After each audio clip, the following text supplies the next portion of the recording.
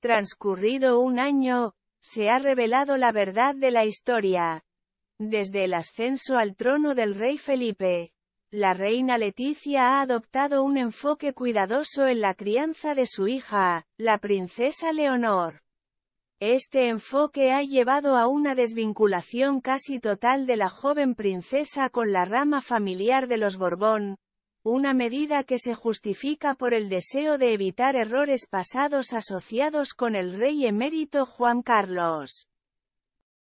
En medio de esta situación, el padre de la futura reina de España, el rey Felipe, ha mantenido un perfil discreto, generando especulaciones sobre su posición en la dinámica familiar.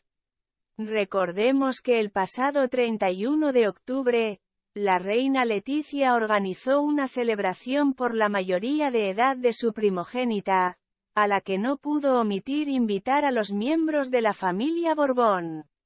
Aunque las ausencias fueron notables, la presencia de Juan Carlos, Sofía, Cristina y Elena marcó una excepción en esta estrategia de distanciamiento. Victoria Federica, aunque no fue invitada por su tía, sorprendió a su prima, la princesa, al enviarle un emotivo mensaje de felicitación por su mayoría de edad y la jura de la Constitución.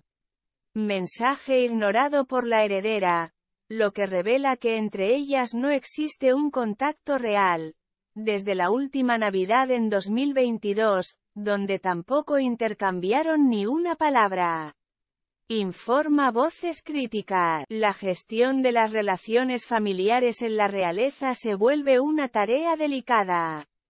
Debido a que Leticia, con su enfoque protector hacia Leonor, busca resguardarla de las sombras que han empañado la imagen de la familia Borbón.